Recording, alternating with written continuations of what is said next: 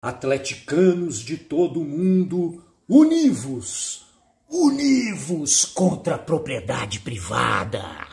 Cara, esse pessoal veio e levou tudo. Levou CT, levou estádio, veio vindo, veio pegando. Daqui a pouco o galo é deles, velho. Agora o galo é deles.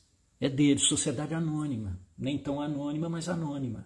Então, eu acho que nós estamos com a faca e o queijo canastra na mão para operar uma grande revanche. E é o seguinte, vamos parar, vamos mudar o nome do estádio, cara, vamos parar de chamar esse negócio de Arena MRV, cara. Que Arena MRV, bicho? Que Arena o quê? Arena.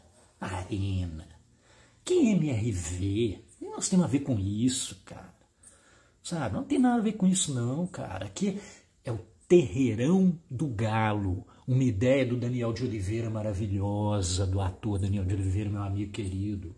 Então, o terreirão, ele tem uma dupla função, cara. Você chama o pessoal, Oxóssi, Ogum, Oxumaré, esse pessoal todo, pode descer para ver, pode ajudar nos 45 pontos. E além disso, cara, nos remete aos velhos quintais, ao, quintal da vovó, sabe? Aos velhos quintais da nossa infância. Terreirão do galo, pessoal. É isso aí que tem que chamar.